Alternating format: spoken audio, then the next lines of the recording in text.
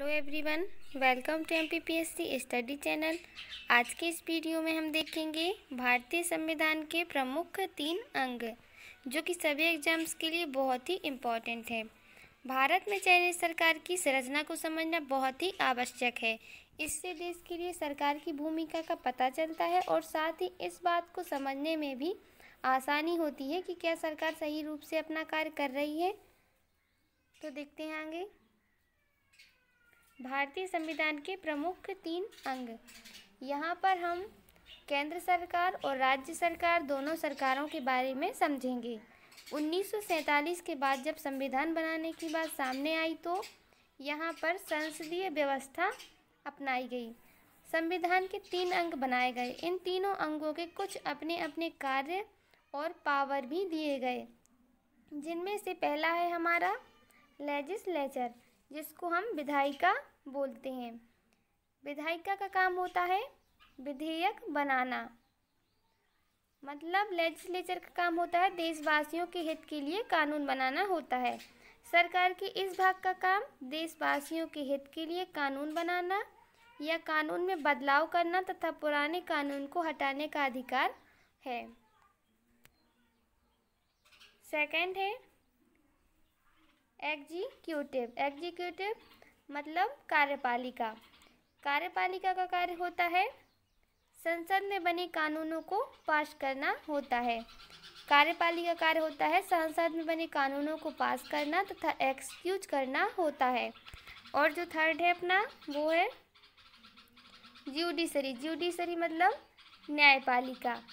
न्यायपालिका का कार्य होता है, न्यायपालिका का काम एग्जीक्यूटिव और लेजिस्लेटर के बीच संबंध स्थापित करना होता है। इस कार्य के साथ जुडिशरी जनसाधारण संबंधित अन्य समस्याओं का भी हल निकालती है। जुडिशरी मतलब न्यायपालिका। यदि लॉ को लागू करने में दिक्कत आती है तो इसे सॉल्व करने का कार्य या फिर सजा देने का काम जुडिशरी का होता है।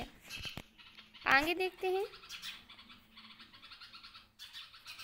यहाँ पर हम फ़र्स्ट हम विधायिका की बात करते हैं। विधायिका। जो कानून बनाने का काम करती है। जैसे कि आपको पता होगा, हमारे यहाँ दो स्तर पर सरकार बनाया जाता है। एक केंद्र स्तर पर और दूसरा राज्य स्तर पर। केंद्र स्तर पर विधायिका में कौन कौन से होते हैं और राज्य स्तर में विधायिका में कौन कौन से होते हैं? चलिए इस बात हम समझ लेते हैं। जब केंद्र के विषय में विधेयक बनाने की बात आती है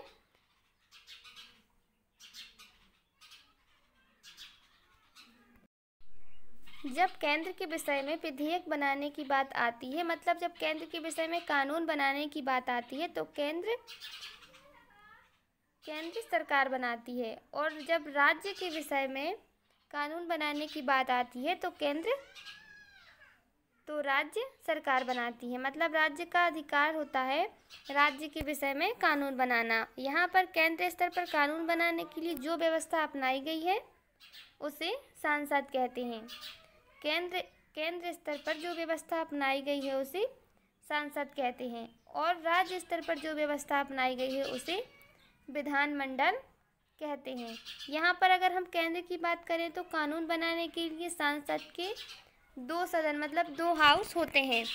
एक लोअर हाउस मतलब लोकसभा बोलते हैं, और दूसरा अपर हाउस, यानी कि राज्यसभा। जब राज्य स्तर की बात करते हैं तो विधानमंडल के दो स्तर होते हैं। पहला विधानसभा और दूसरा विधान परिषद। विधान सभा जो होता है, वो सभी राज्यों के लिए आवश्यक होता है, लेकिन अगर विधान परिषद की बात करें तो विधान परिषद कोई ज़रूरी नहीं है कि सारे राज्यों में आवश्यक हो। वो डिपेंड करता है राज्य पे अगर चाहे तो विधान परिषद को एक्सेप्ट कर सकता है, और राज्य विधान परिषद नहीं चाहता है तो वो विधान परिषद नहीं ले सकता है। अभी टोटल सात राज्यों के पास विधान परिषद है। सेकंड बात कर लेते हैं कार्यपालिका के बारे में। कार्यपालिका में भी केंद्र स्तर पे और राज्य स्तर पे सरकारें होती हैं। तो केंद्र स्तर पर जो कार्यपालिका का सबसे प्रमुख होता है वो राष्ट्रपति होते हैं और सेकंड उपराष्ट्रपति थर्ड प्रधानमंत्री। राष्ट्रपति जो होते हैं वो पूरे देश के हेड माने जाते हैं और प्रधानमंत्री भी पूरे देश के हेड माने जाते हैं। राष्ट्रपति को बहुत सारी पावर दी गई हैं बट उन पावर का जो यूज़ होता है, वो प्रधानमंत्री करते हैं। इसलिए इनको वास्तविक हेड माना जाता है। और राज्य स्तर पर जो कार्यपालिका होती है, उनके जो प्रमुख होते हैं, वो राज्यपाल होते हैं। राज्य स्तर पर जो कार्यपालिका होती है, उनके प्रमुख राज्यपाल होते हैं।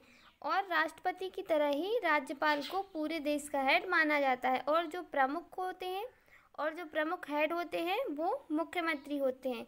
ठीक वैसे ही मंत्री परिषद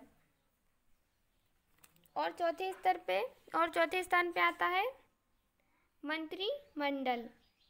मंत्री परिषद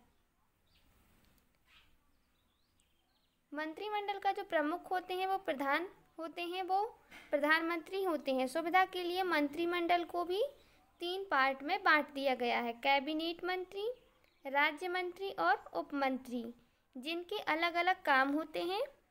मंत्रिमंडल के प्रत्येक सांसद का मंत्रिमंडल के प्रत्येक मंत्री को सांसद का सदस्य होना अनिवार्य होता है।